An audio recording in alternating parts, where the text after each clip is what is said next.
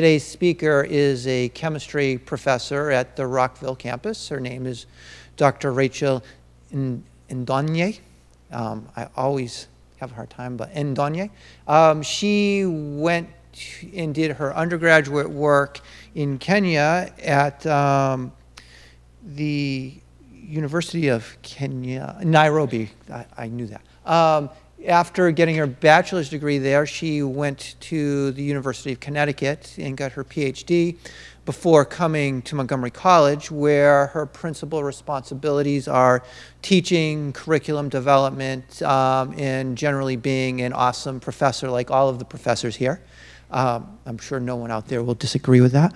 Um, the past several summers she spent at um, the uh, Technical University of Kenya working on a fellowship where she's been involved in curriculum development in chemistry. And I think you said you were developing a medicinal chemistry program as well as some chemical outreach in the local area. And it, I saw her presentation last year. It was a really interesting presentation. It was really good. And I, she did more work there this summer, so I think it should be a really good talk today. And I'm really glad to have Rachel here to speak to us today. So let's welcome her and listen to what she has to say.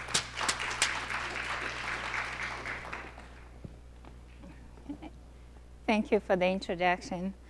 Uh, so I'll begin by talking briefly about the Carnegie African Diaspora Fellowship Program. I'll summarize the education system in Kenya so that you're familiar with it. I'll talk about the Technical University of Kenya, which is the university I worked with, and briefly discuss the project activities I was involved in. And uh, I have a few examples of educational exchange programs uh, for MC faculty and um, also one for uh, MC students. And finally, I'll give some examples of competitive advantages in Kenya. Uh, so uh, the Carnegie African Diaspora Fellowship Program is funded by the Carnegie Foundation, which is one of the oldest uh, American grant-making uh, grant-making foundation. It was established by Andrew Carnegie, and its aim is to promote the advancement and diffusion of knowledge and understanding. Uh, the foundation supports programs and initiatives that address today's problems in various areas, specifically democracy, education, and for education, it provides opportunities for stu American students to acquire the skills they need in order to compete in the global market uh, higher education and research in Africa, and international peace and security. So the program I was involved in is under higher education and research in Africa. Uh, the Carnegie African Diaspora Fellowship Program is a two-year grant. It's on its second cycle. It was started uh, in 2013, so it's a relatively new program. And its aim is to mobilize African diaspora in order to facilitate international higher education engagement and this is made possible by pairing the African-born scholars with accredited, uh, at accredited higher education institutions, either in the US or Canada, with uh, higher education institutions in six African countries. And those are the six African countries. So it's not all uh, uh countries in Africa. Uh, the program is managed by the Institute of International Education. I know that's familiar. Um, and duration of one visit is usually uh, from 14, maximum three months. Uh, the fellowship funds scholars uh, stipend, visa cost, health insurance, and international air travel. And the program encourages African host institutions or the institutions which work with the African-born scholars to cost share. And mostly they provide housing, meals, and local transportation. Uh, the eligible educational projects which are funded by the program are in three areas, curriculum co-development, research collaboration, graduate student mentoring, and training. And the projects are proposed and driven by us institutions in Africa. So the African-born scholars do not propose the projects, they just work on them. Uh, so I'll briefly mention about Kenya. If some of you are not familiar with Kenya. Uh, Kenya is in Africa. It's uh, located along the equator and also along the Indian Ocean. And there are 54 African countries. Uh, Kenya's competitive advantage is availability of natural resources. I'll give some examples later in my presentation. And the education system structure is very similar to the US system. Uh, it's called 844 system. Eight stands for eight years in uh, what they call primary education, that is both uh, elementary and middle school, four years in high school, and at least four years in a degree awarding institution. Obvious students must complete kindergarten before joining uh, primary school or elementary school. Education in public schools is free and not compulsory, but it was made free in 2001, so before it wasn't. Um, the standardized exams are taken at the completion of primary, which is same as last year of uh, middle school and high school nationwide. And they're administered from mid-October to mid-November, so they just completed that. And the national examination results are used for admission to high school, universities, training, and technical institutions. So that, that's the equivalent of SAT in America. And uh, about 50% of students in primary school uh, proceed to high school. So that means about 50% never get a high school education. And uh, out of the students who sit for high school exam, final exam, the national exam, about 28% score at least a C plus, which is the minimum score required to join a university. Uh, the others end up joining technical institutions. Some of us never get any university education. So currently there are 58 universities. And in about, in 2000, there were only 20 universities. So most, yeah, uh, more than 30 universities have been created the last 15 years. So they're relatively new institutions. Uh, unlike in the US where um, to join medical school, you must have a bachelor's degree. And we know pharmacy school also recommend having a bachelor's degree before you join the program. In Kenya, medical and pharmacy school admission is based again on the national examination. Usually they admit the students who score the highest in the national exam, and uh, on average it's an A. And also engineering program. Uh, to join engineering program, most times you need to have an A in the national examination. So there's a little difference compared to the, the US system.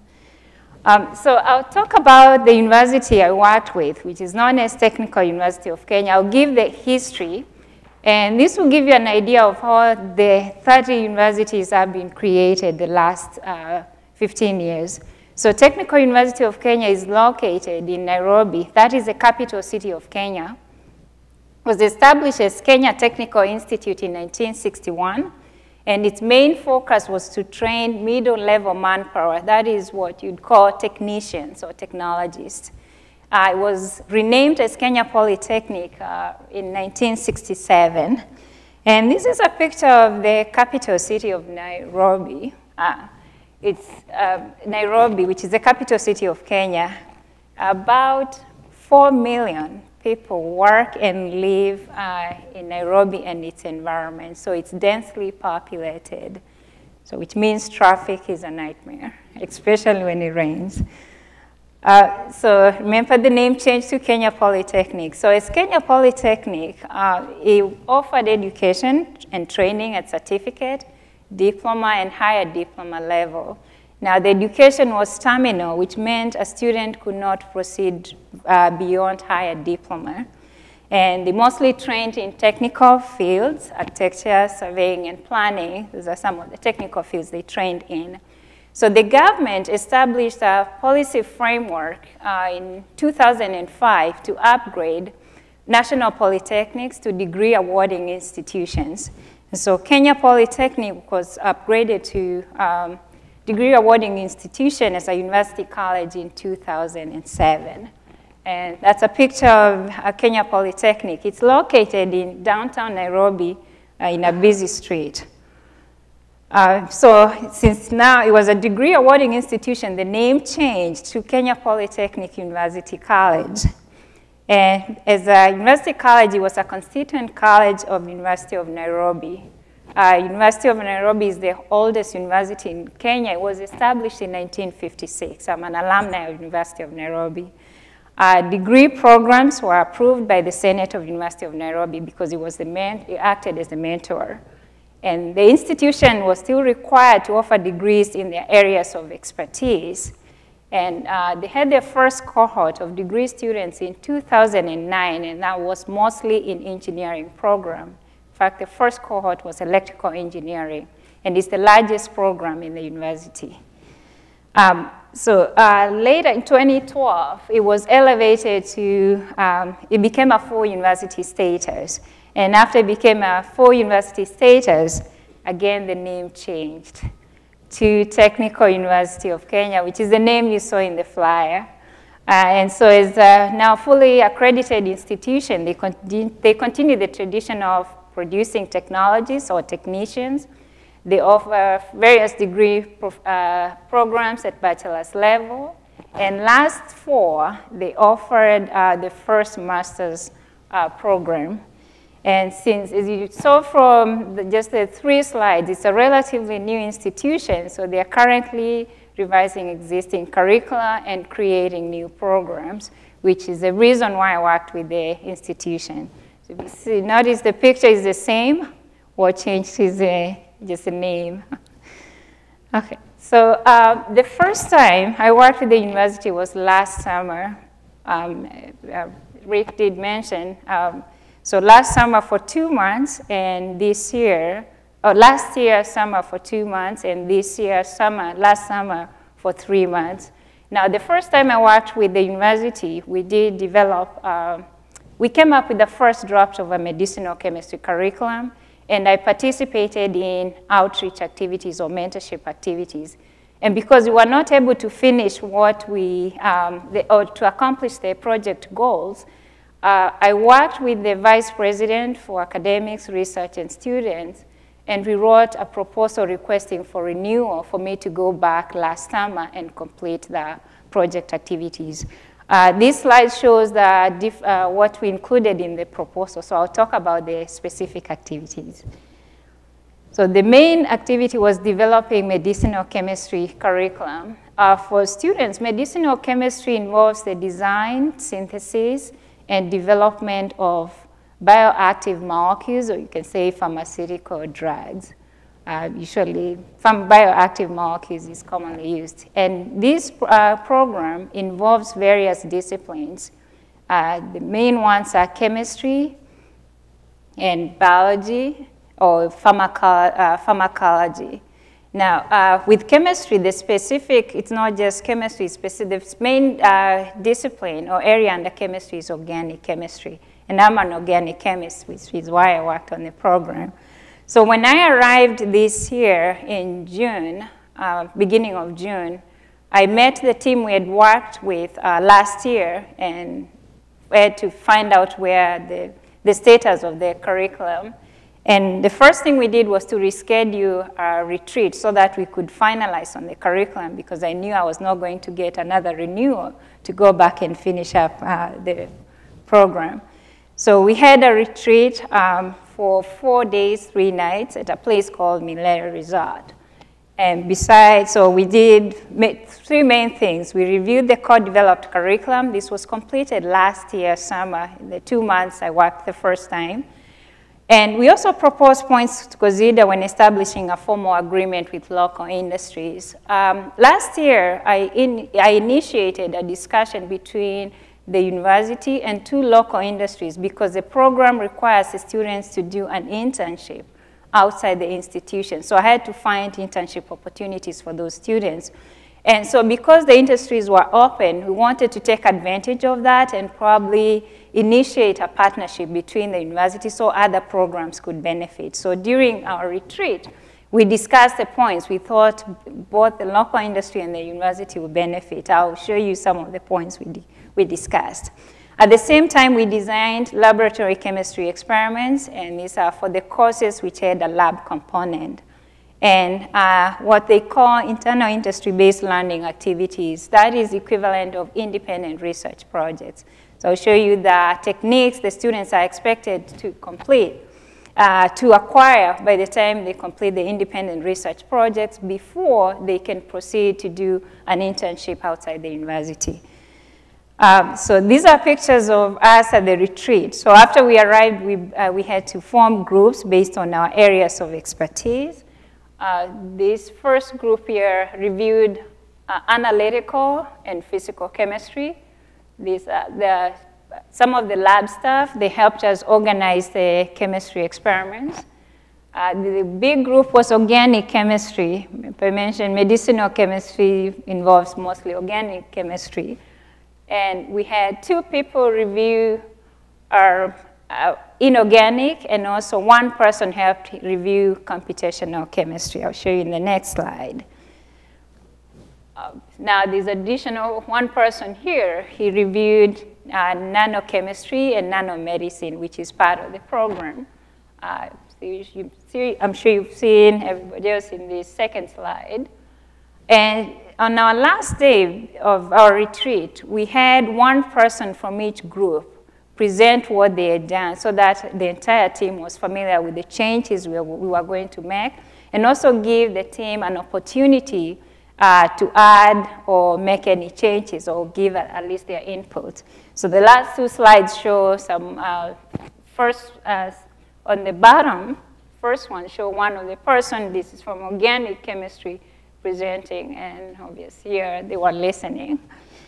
Uh, so after the retreat, we had, uh, before we left um, after the retreat, we obviously agreed to now finish up compiling, edit, and after editing, we, uh, we had to work with the registrar's office and other offices involved to get the coding and finalize the uh, program. So I'll show you now the final curriculum which as is midway through the approval process. So the first two years are mostly the same courses we teach here at Montgomery College. Now, you'll see two different codes, UCC and SPCH. UCC stands for Undergraduate Common Courses. That is equivalent of general education. You know, it's just different terminologies. Uh, SPCH, SP stands for School of Physical, CH Chemistry, those are the program courses. Uh, 48 hours is equivalent to 12 weeks of teaching, four hours a week for a course which has no lab. If a course has a lab, they have two hours of lecture and three hours of lab, so one lab per week. Um, so I'll just go through the slides. If you have any question, you let me know after the, presentation. after the presentation. You.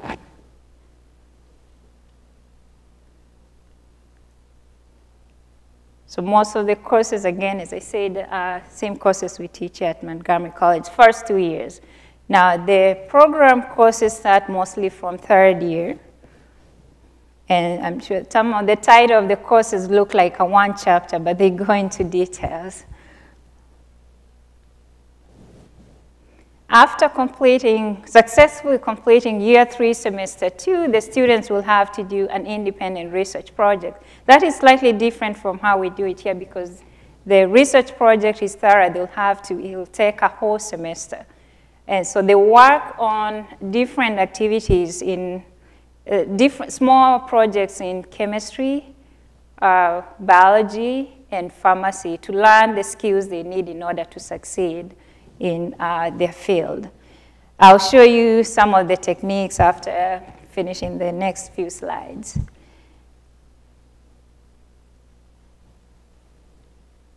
So year four, semester two, you notice there are few courses because they have to complete a second research project, uh, which is equivalent to four, uh, four courses.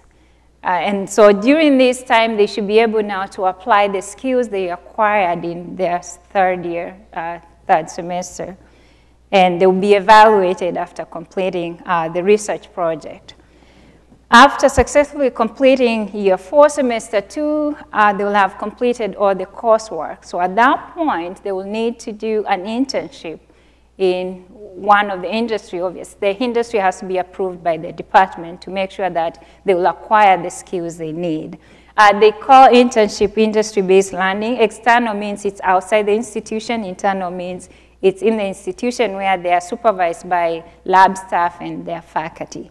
Uh, again, that's um, equivalent to a whole semester. So the program will basically take five years, not four years because of the two additional semesters. Uh, these are the skills they'll be expected to learn when they complete the internal attachment. I changed it to internal attachment it may, uh, in their third year, third semester. So you'll notice if you teach uh, labs, these are the same skills we emphasize when we teach. Um, I think the first three are self-explanatory. Uh, the separation and purification will be from the simplest te technique, let's say using a separatory funnel, to more advanced purification techniques like using chromatography instrumentation. Uh, quantitative chemical analysis is referred to using chemical tests, um, titration, and gravimetric analysis, if that's familiar. It's just determining amount and also determining the substance. Uh, biochemical analysis, this will be more like the pharmacy part, where they will be expected to learn the techniques used in analyzing bioactive molecules in living organisms. And it will also include like the techniques used to test illegal drugs. So they will need to learn that. Identification and quantification of compounds will include all the different uh, instrumentation from atomic absorption to chromatography, again, for example, higher pressure liquid chromatography and so forth. Uh, this is a continuation. So for organic, they will first do a one-step reaction just to be able to at least get some product out of it. Then they'll later do uh, multi-step synthesis or more than one step.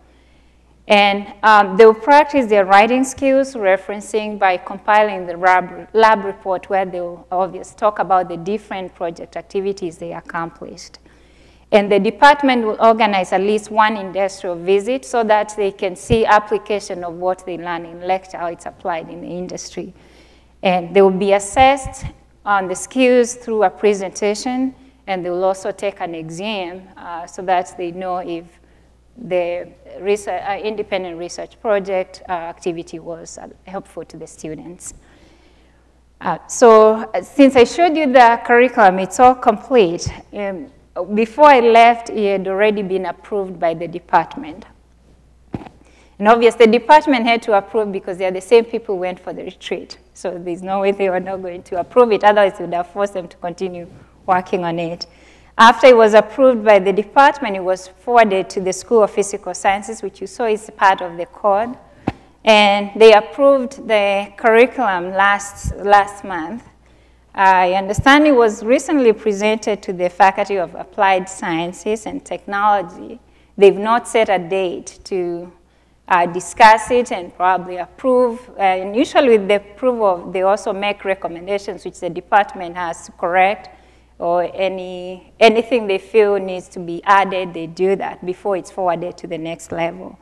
After the faculty will be forwarded to the Dean's Committee and then the University Senate after it's approved, it's approved by the University Senate, it will be forwarded to the Commission of University Education, for University Education. That's the equivalent of Maryland Higher Education Commission. So they'll obviously approve before they publish. And after they publish, the uh, institution plans to advertise the program in February next year. I'm not sure if that will be possible, but that's a plan and they plan to launch the program next fall. If it's, once it's implemented, the institution will be the first uh, university in Kenya to offer medicinal chemistry program. Uh, so um, still tied to the curriculum, as I mentioned to you earlier, I had to initiate discussion between two local industries. I'll just show you the names of the two local industries, Pharmacy and Poisons Board this is a government agency which is mostly used with uh, safety, toxicity, efficacy of drugs. They also license the um, pharmacy uh, curricula. Uh, they license, they give licenses to pharmacies, and they also approve pharmacy curriculum. So I visited the uh, industry um, or the body with uh, two people from the department, and we discussed the points we had proposed during our retreat. I will show you in a minute. And um, the people we met liked the points we had proposed, And they did suggest we could also, uh, the institution could enter into uh, in a partnership, a sort of a partnership with the university. And um, they got their lawyer involved, so the lawyer is currently working with the Office of Partnership uh, to draft a memorandum of understanding. Uh, the second industry is known as Kenya Bureau of Standards. This is a quality assurance, inspection, and training and certification body. It's mostly involved with uh, all consumer products except drugs, because drugs are um, under Pharmacy and Poisons Board. So we had a similar meeting with some of its employees. And again, after our discussion, they were open to having a partnership with the university. And they did send a template to the uh, office of, uh, involved with partnership, and they're using that to draft the memorandum of understanding. So I'm hoping uh, by maybe next year, we'll have a formal agreement between the institution and the two local industries. Uh, so I'll just uh, let you look at some of the points which will go into the first draft of the Memorandum of Understanding. So these slides show what the university was requesting from the two industries. The last one applied to the quality assurance um, and certification body not to both industries.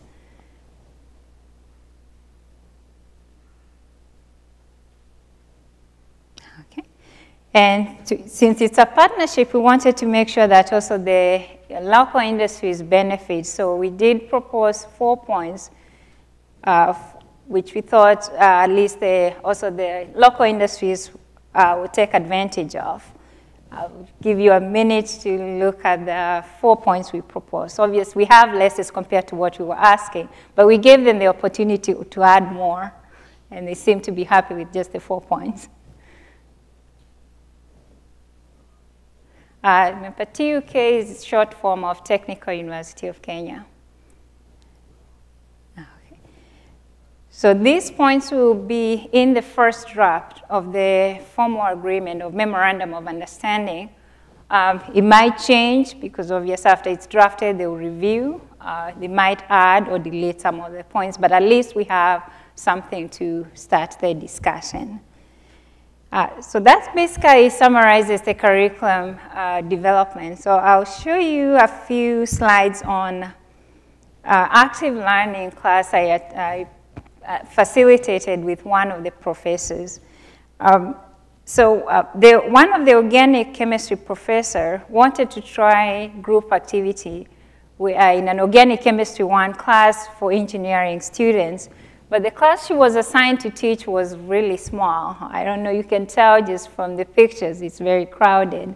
So she asked me if I could join a beginning of lecture and help facilitate the groups because she, want, she was trying that for the first time. So when beginning of lecture, we asked the students to break into groups of four to five.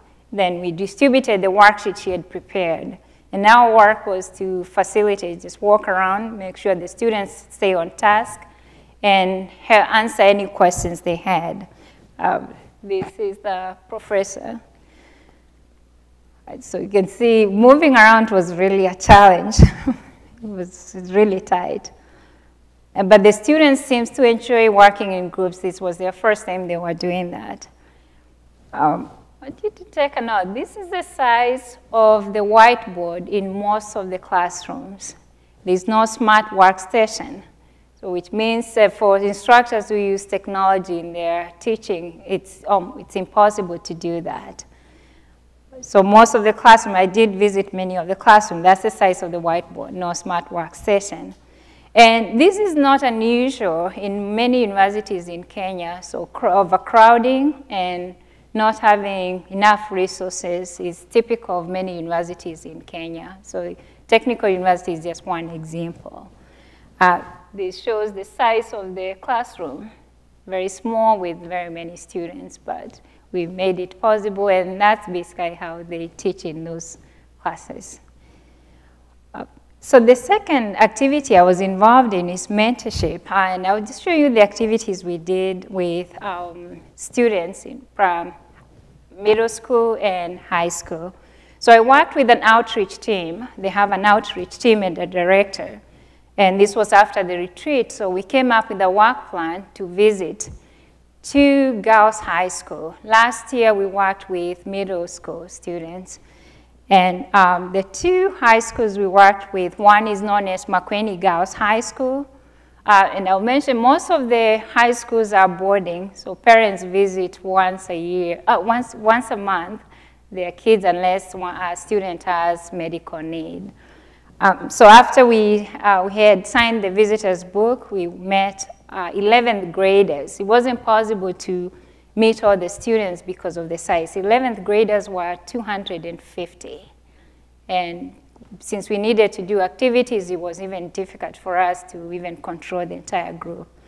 So uh, this is the vice president for academics research and students. He was very involved because he wrote the proposal with me. So he started by talking about the university. So they used this opportunity to market the university also.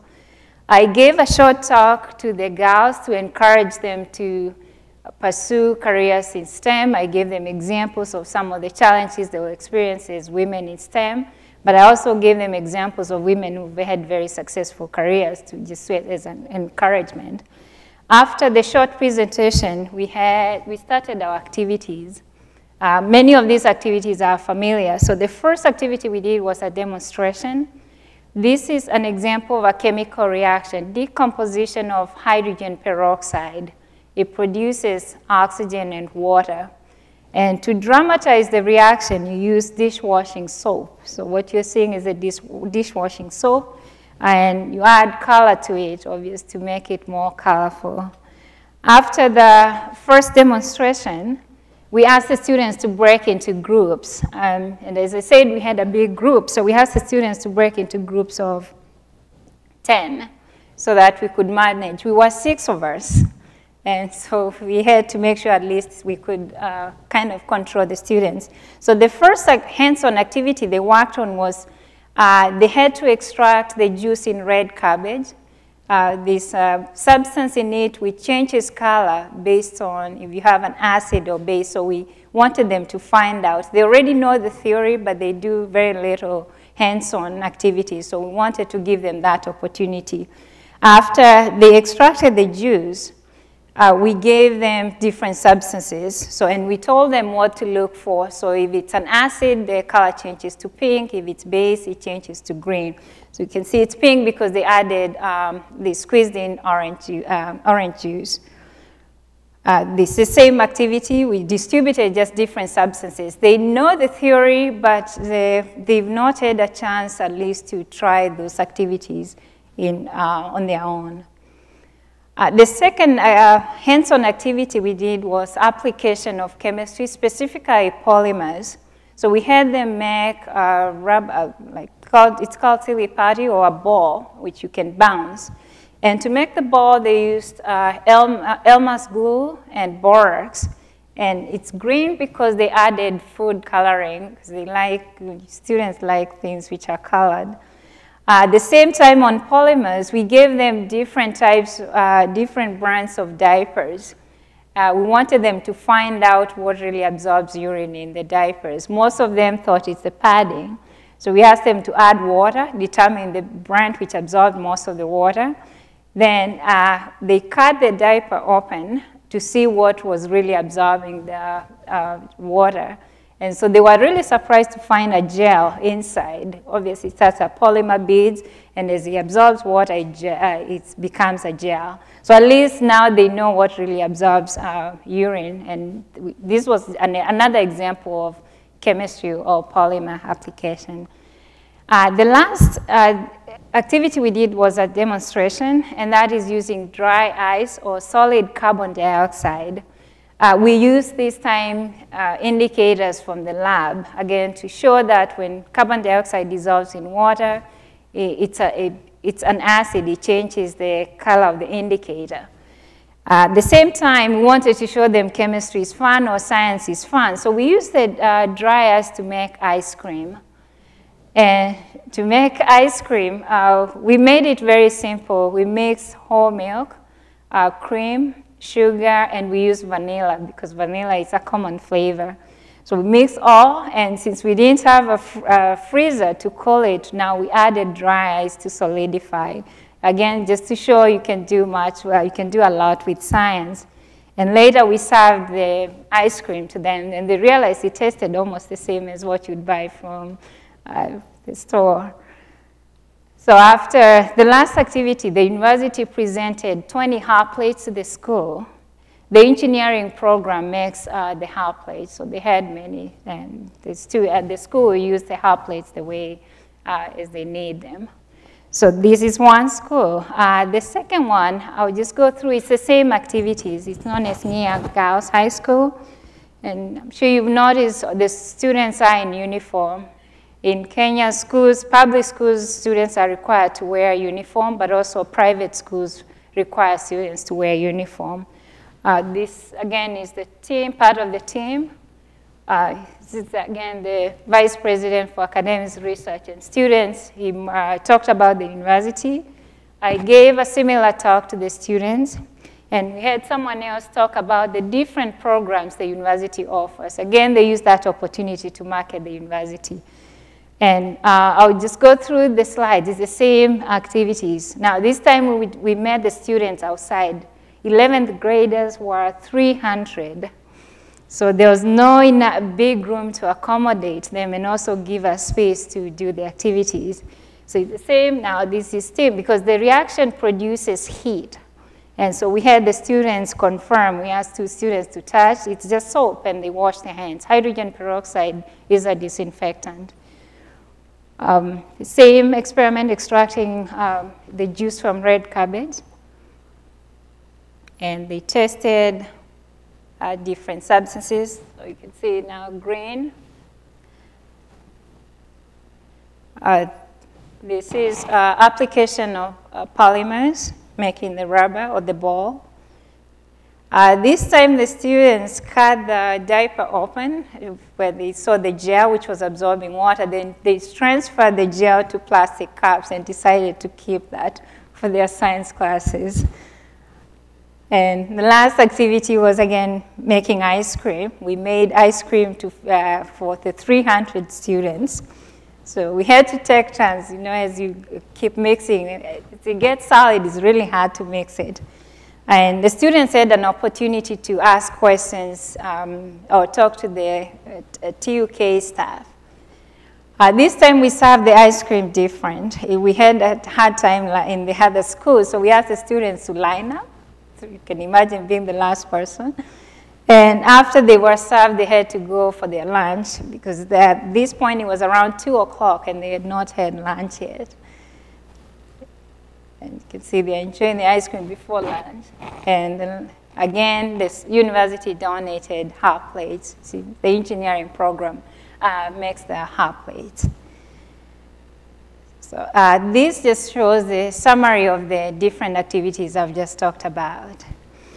So there are a few educational exchange programs I'm, I'm, familiar with, which are managed by the Institute of International Education. Um, and I know some of you are familiar with uh, at least the first two, Fulbright Scholar Program.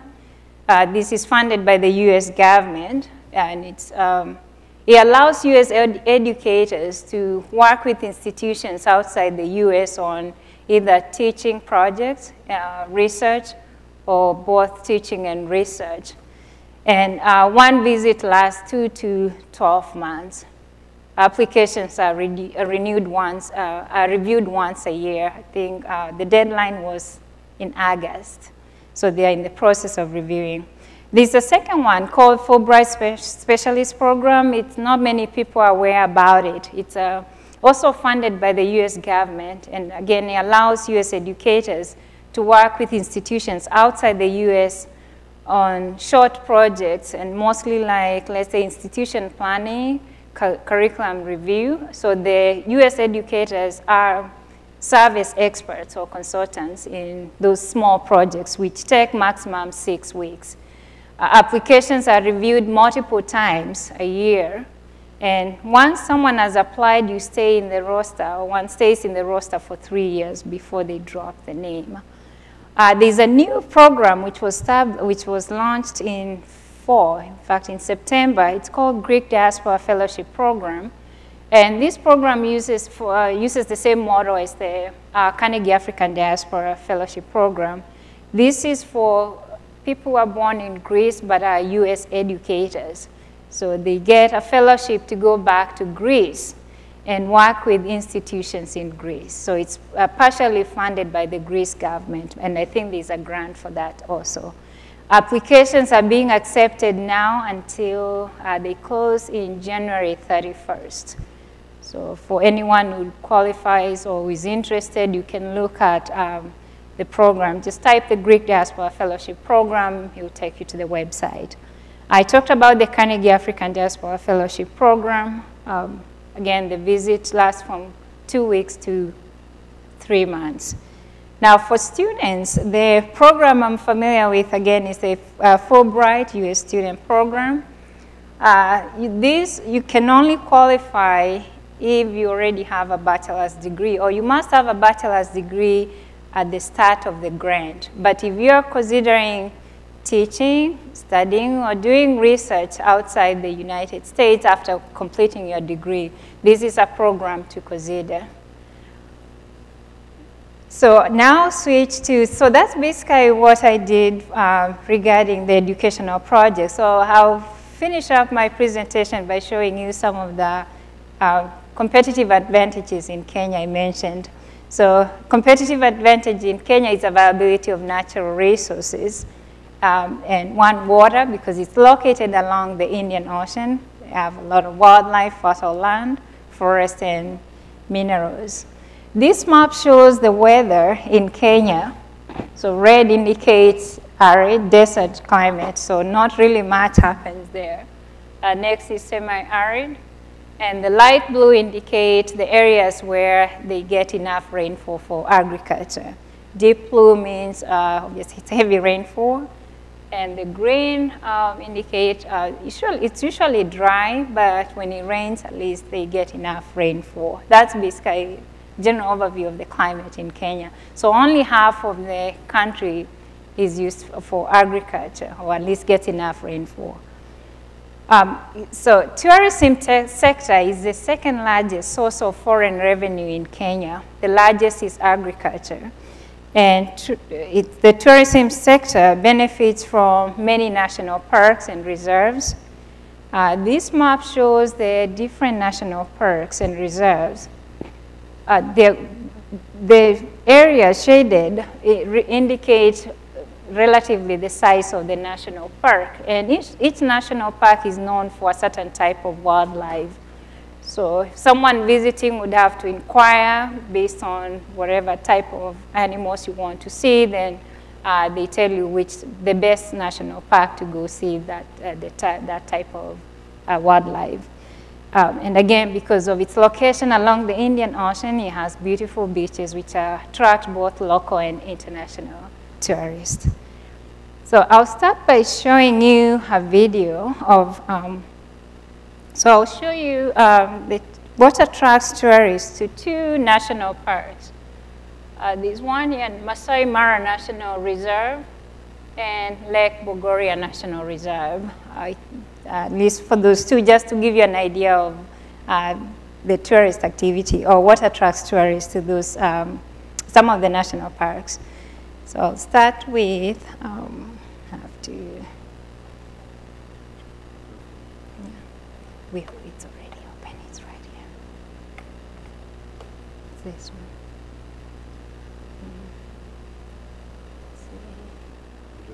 Mm. Yeah, that's the first one.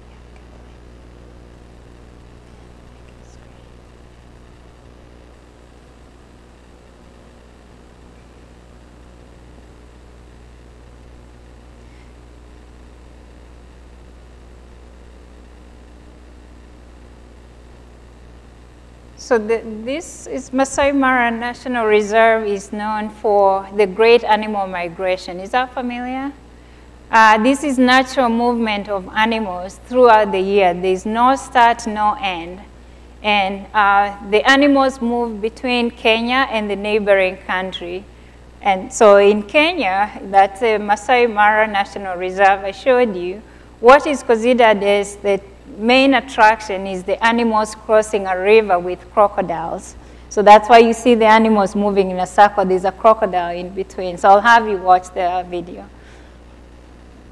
So this is what attracts local and international uh, tourists to that national reserve.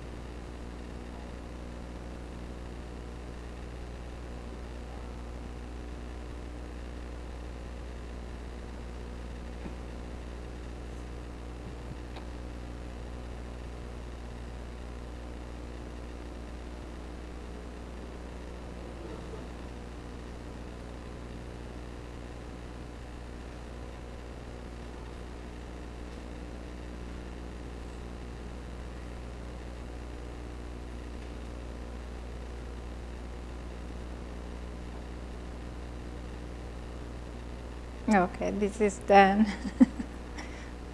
uh, okay, let's click on this one. Yeah.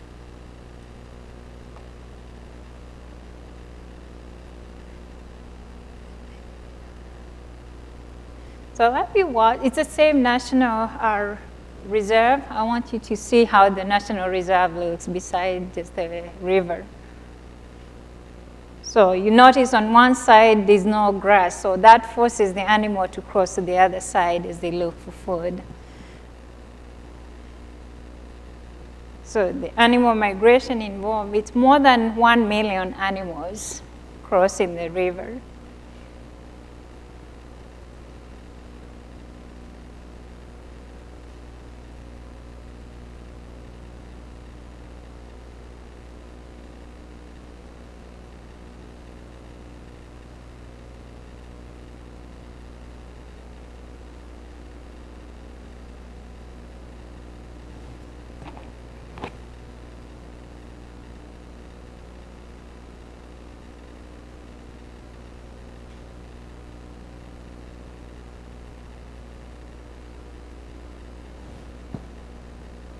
And you notice that the animals move in a line. Where the first animal steps, that's where the last one steps. They always move in a line.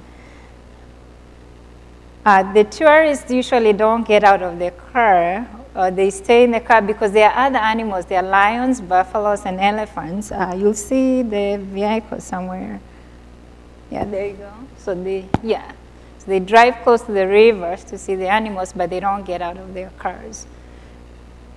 Okay, so this gives you an idea of the national park. Okay. Uh. Okay.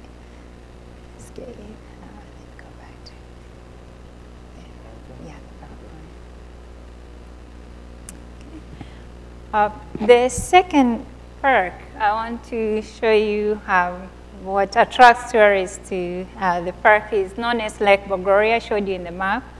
And Lake Bogoria is an alkaline lake, which is located in a geothermal active region. And the, uh, the geothermal activity is characterized by presence of geysers and hot springs. And when I say alkaline, the pH is about 10. So any plant, if, if a plant comes in contact with water, it dries up. People say it's very salty. But it's also a home for many flamingos. Uh, so that attracts tourists, the flamingos, and also the geysers. So have you see, I took a video of the guy. So we have, it's yeah, just go ahead. That the next one. Okay.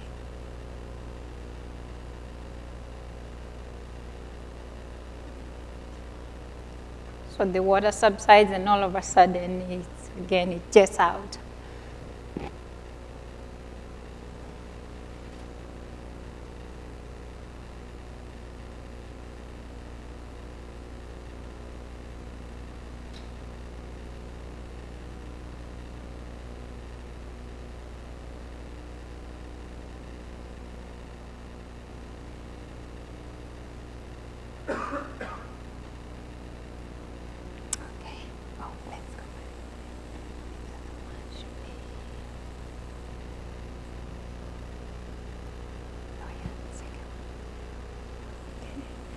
Will at least help you see how the lake looks like. So there used to be many geysers, but this is the only geyser I saw the last time I visited because the water level has risen so much. So not many now are visible. And there are small uh, geysers on the side. People use those to boil eggs. It's just to confirm that the water is hot enough to boil an egg.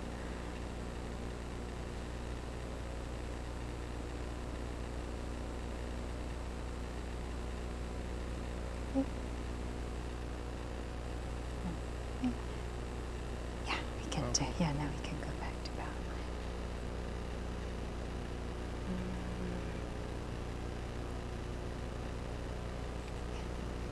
Okay. So uh, I took a picture while I was there and at where the geyser is. So you see a, line, a pink line all the way at the back. That it's basically the flamingos. Because of human activity, they don't come close to the shore. But where People don't visit, they come close to the shore because they feed on the algae, the green stuff you're seeing. Uh, so as I said, the water level has risen so much. This was the initial road. Now it's all completely covered with water. So the government had to construct a road, another road, to enable people obviously to be able to go visit the geyser. Uh, the green you're seeing again is the algae, what the uh, flamingos feed on. I took a nice picture of that. And understand the algae grows quickly in that um, basic water or alkaline water. So that obviously maintains the flamingos, so it attracts the flamingos.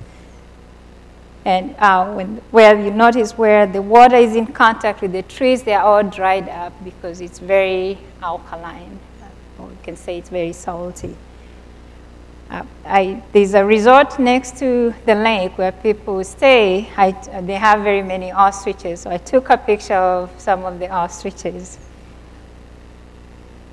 And this is a picture of the Kenyan coast. As I said, they have beautiful beaches. And the Kenyan coast is divided into two. There's the north and the south.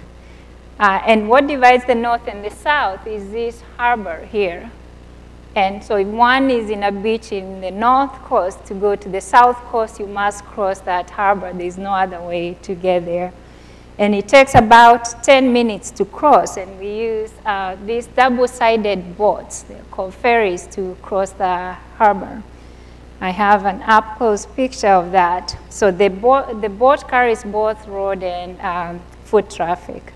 So this is how it looks like. So you have the vehicles in the middle and people on the side. It's called Likoni Ferry, and the place is also called Likoni.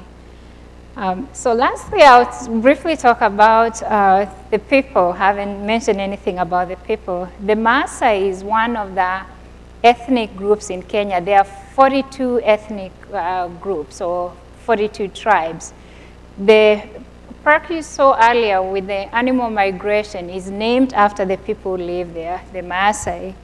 Now, the Maasai have maintained their traditional way of life. In other words, they live a different life from the rest of the Kenyans, despite pressure from the government to change. They have no attachment to possessions, and about 70% of them, which is a million of them, are unable to read or write. So which is why the government has been putting so much pressure so that they can change their way of life. They live a nomadic life. And these are the type of houses they live in because they're always migrating in search of food for their cattle. So what they value most is cattle. They believe um, uh, somebody's wealth is based on how many cattle that person has. And yeah.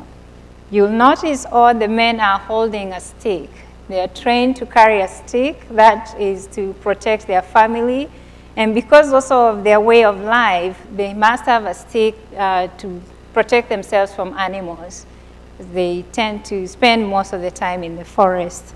Uh, the ladies wear colorful clothes, and you notice all of them are in red. So red is their color.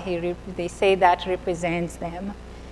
And This picture shows the cattle. So someone with cattle, they tend to carry a spear, again, to protect their animal from, their cattle from wildlife, especially lions. And you notice again, this man is also holding a stick, so they always carry a stick. They are trained to do that. And finally, I would like to thank the Carnegie Foundation uh, for funding United States International University of Africa, I did not mention about the university, but they provide a vision for the program um, I participated in. Institute of International Education managed the program, is the contact office. Uh, Montgomery College for support. Uh, my former dean, Dr. Cheng, wrote a letter of recommendation when I applied for the program. And Technical University for having the opportunity to work with them. And thank you so much for coming and listening.